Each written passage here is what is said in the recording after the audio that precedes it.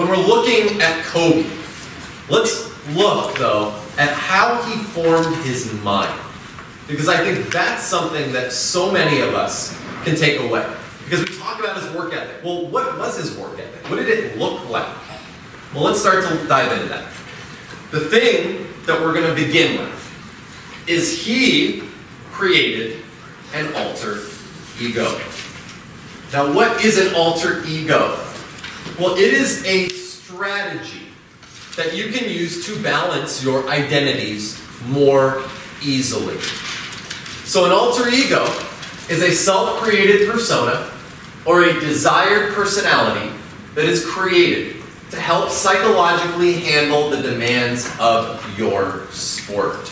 Now I have this book up here, it's called The Alter Ego Effect. I've just gotten it, I'm just starting it, so I have not gone through it yet. But in the very beginning of it, the author, Todd Herman, talks about how he was actually going to give this, this talk at a conference or something. And he's going up to the stage, and the athlete, Bo Jackson, who, in my opinion, is the greatest athlete who ever lived, just an absolute physical specimen, walks up to him and he says, Hey, you know, I've heard of you before. Are you going to go talk? He's like, Yeah. It's like, What are you talking about?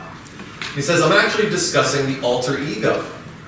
And Bo looks at him and says, Bo Jackson never played a down football. And they had a conversation about this concept of the alter ego. Now, Bo Jackson was built like a truck. Okay? If anybody had had the right to be confident about themselves as, as an athlete, it was Bo Jackson, okay?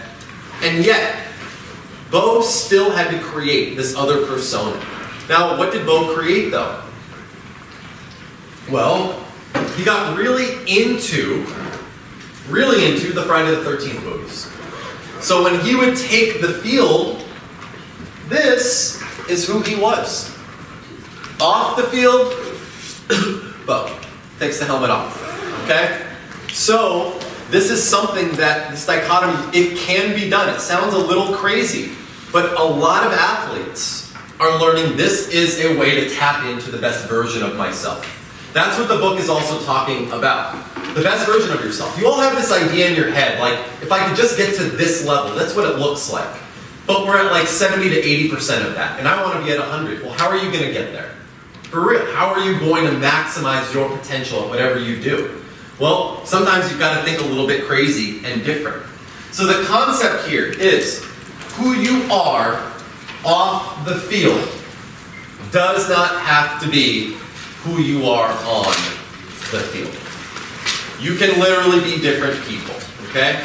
If you've got shy, nice personality traits, that's who you are, that won't help you as an athlete. It just will not make you play any better on the field. Period. Okay? It won't.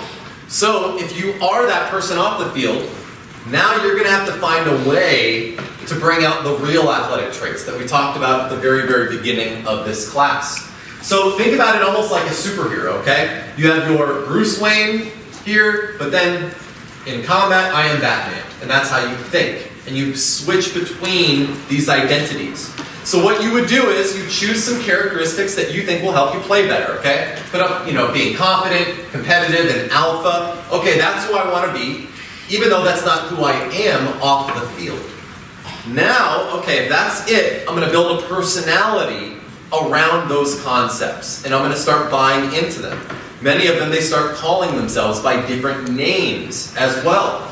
But what I want you to think about this light is Essentially, it's like an actor who's playing a role, okay? The actor, when they show up on set, they switch into character, they become that person, but then when they go home, they are not that character, okay? Unless you are a method actor. They're not that character. So that's how you can think about this concept. Now, with Kobe, where did he come up with this whole Black Mamba IP? Okay? Well, with Kobe, he actually was a huge fan of National Geographic, Discovery Channel. He loved watching nature shows. He loved watching animals in their habitats. So there's a couple stories that I heard. The first one was actually how he was watching cheetahs on the Discovery Channel. And we know cheetahs are the fastest animals on the planet, run 60 miles an hour. But what they were actually describing was how a cheetah can run so fast and balance themselves is that they actually use their tail to balance. Now, Kobe saw this and heard it, and he calls up Rob Pelinka. Who is Rob Pelinka? Well, he's now the general manager for the Lakers. But he was the longtime agent of Kobe, and really they were best friends. They talked every single day. So he calls him up like late, like 2 in the morning, and he's like, hey, Rob, I'm watching this thing on cheetahs, and what do you think if when I'm in the air and I'm shooting, I start using one of my legs like a cheetah uses its tail to balance itself? What do you think about that? Now, Rob was probably like, okay, what the hell are you doing calling me at 2 in the morning?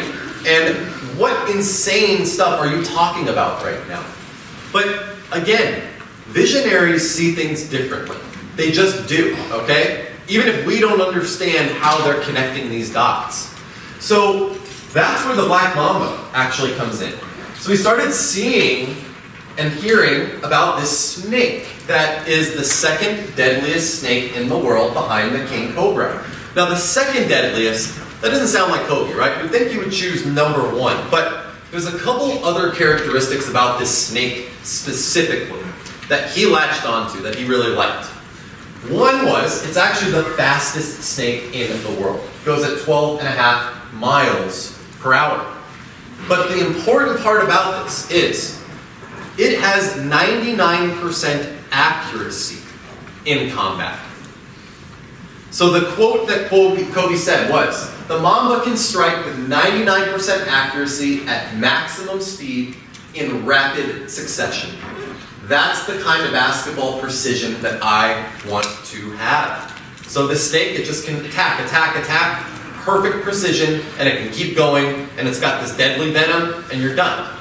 And so he used this as his analogy in a way of how he wants to think about himself on the court.